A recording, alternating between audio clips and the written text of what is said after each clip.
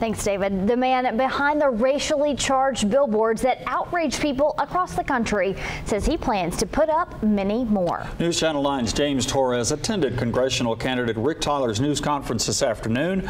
He joins us now live to tell us what Tyler had to say. James. Latricia Calvin, I'm standing off of Highway 411 here in Polk County where once stood the Make America White Again billboard. It's been removed since then. This is the same spot where Rick Tyler held a press conference this afternoon to discuss those billboards as well as the future of his congressional campaign. He had a lot to say this afternoon and people against him had a lot to say to him as well. Rick Tyler is a District 3 candidate for the U.S. House of Representatives. He is also the creator of the Make America White Again billboard in Polk County. That sign brought out this response from residents. It made me very uncomfortable that we could be associated with such hateful rhetoric.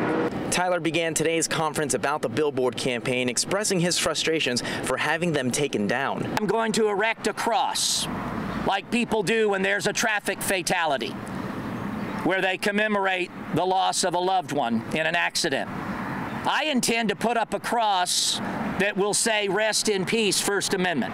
Tyler also spoke about the Second Amendment. He pulled out an unloaded gun as a statement, saying the government will never take them away from its citizens. Today we heard from the NAACP chapter in Bradley County. They say they, quote, find Rick Tyler's comments deplorable. We urge all citizens of goodwill to reject such vile viewpoints, and we encourage the voters of Bradley and Polk counties to hold him accountable at the ballot box.